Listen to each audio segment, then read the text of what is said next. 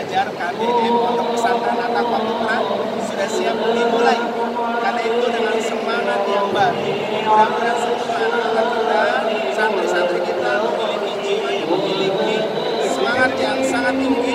Karena itu pesan dari kami semua guru-guru pertama adalah sungguh-sungguh. Karena dengan kesungguhan, wajada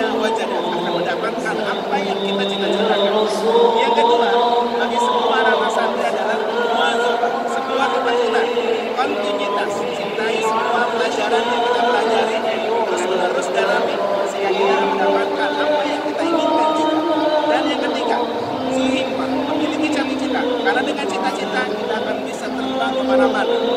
Percaya bahwa kita semua akan mampu. You can. Kamu pasti bisa kalau kamu mau.